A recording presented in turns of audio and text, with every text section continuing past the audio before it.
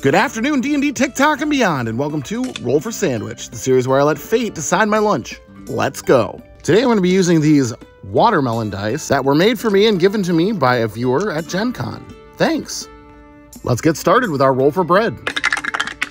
Two freezer ends. From deep within the Icewind Dale, aka my freezer, today comes some cinnamon raisin bread. It is frozen, so we are going to use our toast bread cantrip to bring it back to life.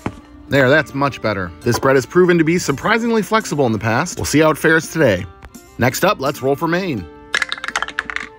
Three, fish sandwich.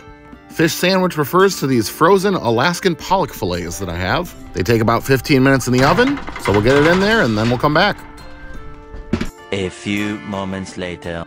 All right, so it's been a little longer than 15 minutes, so our pollock fillet should be nice and cooked.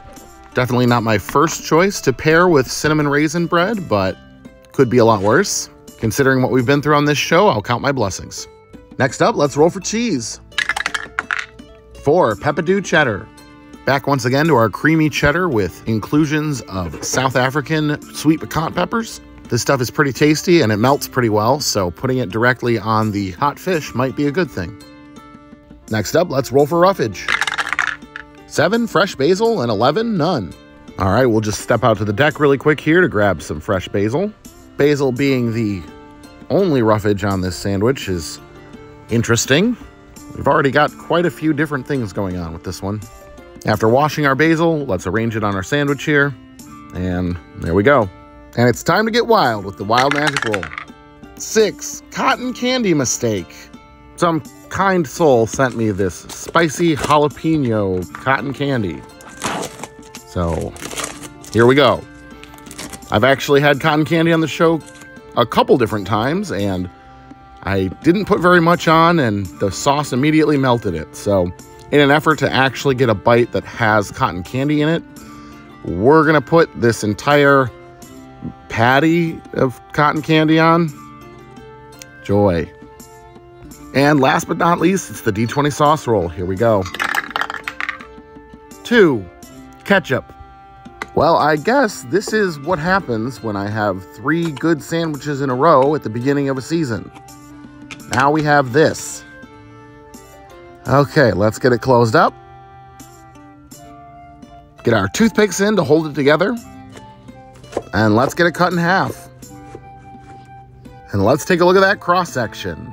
Looks like I just unalived SpongeBob. I am uncomfortable with the energy that we've created in the studio today. I guess let's give it a taste. Here we go. Well, I'd imagine that's what biting into fiberglass insulation is like. The texture of the compressed cotton candy, not great. Flavor wise, we're all over the place. We've got weird, fake jalapeno flavor, cinnamon and sweet raisins, and then random fish. It's not good. Don't recommend. Whatever the opposite of cohesive is, is this. Just about everything in it is at odds. The cheese being a little melty, maybe the only highlight here. Oh, yeah, and of course, there's ketchup on it. Great.